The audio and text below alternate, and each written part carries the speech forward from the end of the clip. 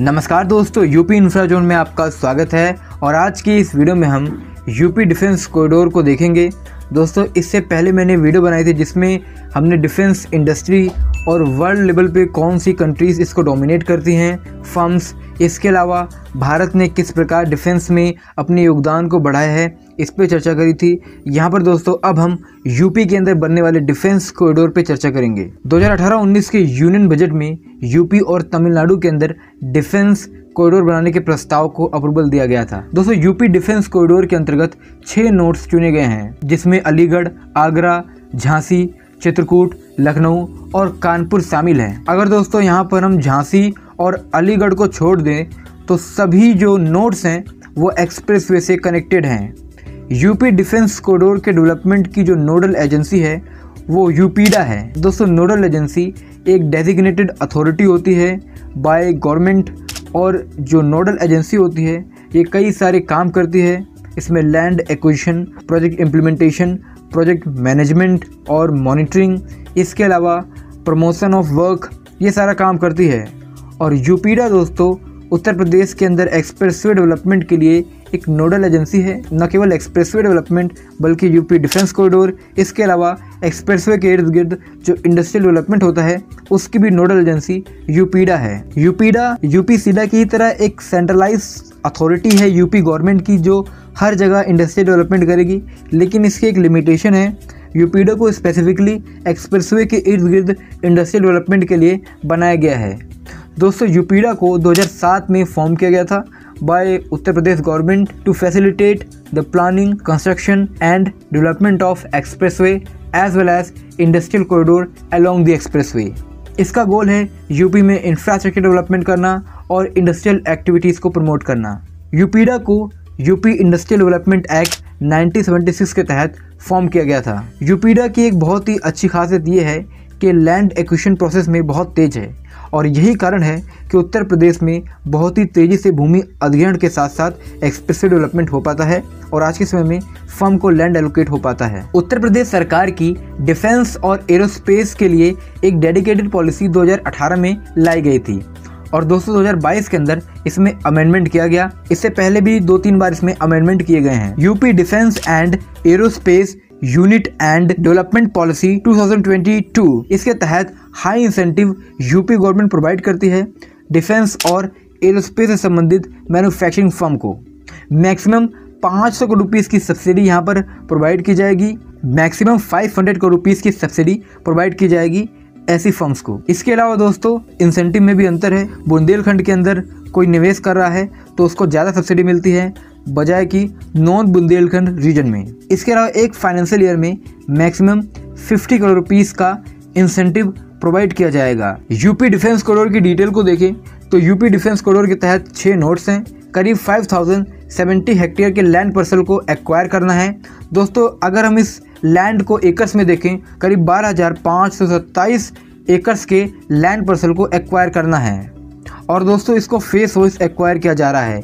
यानी कि शुरुआत में कुछ फर्म के लिए लैंड को रिज़र्व किया गया, फिर एक्वायर किया गया। देन उसके बाद जब वो सारे लैंड पर्सल कंप्लीट हो जाएँगे तो डिमांड को देखते हुए लैंड एक्विशन और करा जाएगा। अगर हम दोस्तों भूमि अधिग्रहण की वर्तमान स्थिति को देखें तो जो वर्तमान स्थिति है, उसका जो डेटा है, उसके अकॉर्डिंग झांसी के अंदर एक हज़ार हेक्टेयर से ज़्यादा का भूमि अधिग्रहण हुआ है, जबकि चित्रकूट के अंदर 50 से ज़्यादा हेक्टेयर का भूमि अधिग्रहण हुआ है।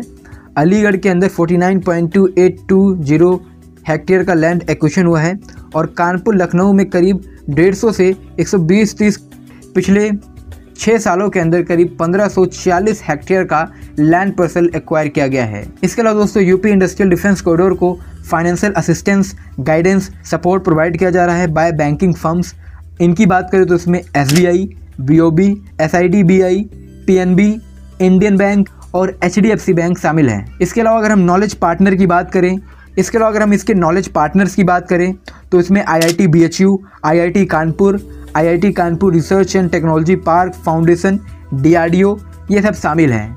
इसके अलावा अगर हम स्किल पार्टनर्स की बात करें तो इसमें national small industries corporation, DRDO defence research and development organisation, aerospace and aviation sector skill council, ये सारे पार्टनर्स हैं जो स्किल डेवलपमेंट के लिए काम कर रहे हैं। तो यहाँ पर दोस्तों छः में से पाँच नोट्स का लेआउट रेडी है। दिसंबर 2020 के अंदर कुल मिला के चौवालीस फर्म के साथ यहाँ पर एमओयू साइन किया गया था।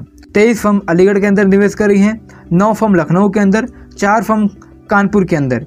इसके अलावा नेशनल स्मॉल इंडस्ट्रीज़ कॉरपोरेट ये जो फर्म है, इसके अलावा national small industries corporate limited और central rail side warehousing corporation ये 4.05 हेक्टेयर के लैंड पर्सन में लगभग हर नोड में एक वेयर हाउसिंग स्पेस डेवलप कर रही है। तो कुल मिला के दोस्तों, ये सारी फर्म थी। तो अगर दोस्तों, हम उन फर्म्स की बात करें तो आप उन फर्म्स को देख सकते हैं। ये सारे फर्म्स हैं, जिन्होंने 2020 के अंदर एमओयू साइन किया था यूपी के अंदर अपनी यूनिट सेटअप करने के लिए। तो अगर हम यूपीडा के लेटेस्ट डेटा को देखें तो अब तक करीब 161 एमओयू साइन हो गए हैं और करीब पच्चीस हज़ार करोड़ रुपीज़ का निवेश कर रहे हैं। इसके अलावा, इसमें 136 इंडस्ट्रियल फर्म हैं। 136 इंडस्ट्रियल फर्म में 48 फर्म्स को लैंड एलोकेट कर दिए गए हैं। वहीं दोस्तों 25 इंस्टीट्यूशनल फर्म हैं जो यहाँ पर कई प्रकार का सपोर्ट दे रहे हैं, चाहे वो स्किल का सपोर्ट हो या फिर यहाँ पर फाइनेंशियल सपोर्ट हो, इस प्रकार के 25 इंस्टीट्यूशन हैं। तो ये दोस्तों, लेटेस्ट अपडेट है यूपी डिफेंस कॉरिडोर की। इसके अलावा दोस्तों, अगर हम इनिशिएटिव की बात करें, जो जो गवर्नमेंट द्वारा चलाया गया है तो सबसे पहले 2020 के अंदर डिफेंस एक्सपो किया गया था। डिफेंस एक्सपो में यहाँ पर पहली बार एमओयू साइन किया गया था। तेईस फर्म ने डिफेंस एक्सपो में एमओयू साइन किया था और यहाँ पर पचास हज़ार करोड़ के निवेश को प्रस्तावित किया था। इसके अलावा दोस्तों छोटे छोटे इवेंट हुए हैं। बड़ा डिफेंस एक्सपो नहीं हुआ है, लेकिन छोटे छोटे इवेंट उत्तर प्रदेश में होते रहे हैं और उसकी वजह से उत्तर प्रदेश में जो ये डिफेंस रिलेटेड फर्म है, इन्होंने निवेश किया है। खासकर दोस्तों यूपी ग्लोबल इन्वेस्टर समिट थी इसमें भी बहुत सारे डिफेंस फर्म यहाँ पर आए थे, जहाँ बहुत सारे एमओयू साइन हुए थे। एक एक दो दो हेक्टेयर के लैंड पर्सल में हो रहे हैं और ये बड़े इंडस्ट्रियल इन्वेस्टमेंट है। इसमें हर फर्म बड़ी अमाउंट में इन्वेस्ट कर रही है, क्योंकि डिफेंस के क्षेत्र में जो भी मैन्युफैक्चरिंग या कुछ भी काम होता है, उसके लिए ह्यूज फंड की ज़रूरत होती है। तो ये सारे निवेश, ये सारी यूनिट्स बड़ा निवेश उत्तर प्रदेश के अंदर कर रही है। दोस्तों, आने वाली वीडियोस में हम कानपुर, अलीगढ़, लखनऊ, झांसी, चित्रकूट, आगरा इन सभी नोट्स की बात करेंगे, इनके लेआउट के बारे में विस्तार से चर्चा करेंगे क्या क्या निवेश यहाँ पर हुआ है, कितना काम हुआ है, इन सब पर विस्तार से चर्चा की जाएगी, जो भी इन्फॉर्मेशन मुझे मिलेगी। आज की इस वीडियो में इतना ही। आपको ये वीडियो कैसी लगी, आप कमेंट करके बता सकते हैं। अगर आपको ये वीडियो पसंद आए तो वीडियो को लाइक करें चैनल को सब्सक्राइब करें। धन्यवाद आपका ये वीडियो देखने के लिए। मिलता है नेक्स्ट वीडियो में।